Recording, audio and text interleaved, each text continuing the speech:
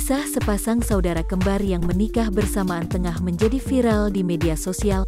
Pasangan saudara kembar tersebut membagikan rasanya menikah di hari yang sama. Lewat unggahan akun @tewini.it, pasangan saudara kembar yang bernama Eva dan Evi ini membagikan pengalaman nikah bareng.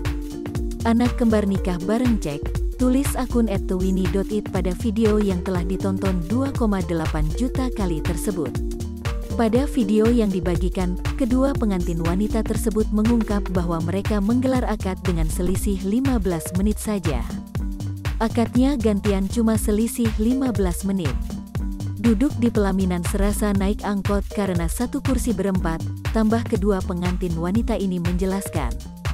Bukan hanya saat akad dan resepsi, kedua pengantin ini juga menjelaskan jika kamar mereka harus diberi nama agar suami tidak salah masuk. Pasalnya, pasangan saudari kembar tersebut adalah kembar identik, hal sama juga berlaku untuk hadiah dari tamu undangan. Kamar dinamain karena yang cowok takut salah masuk.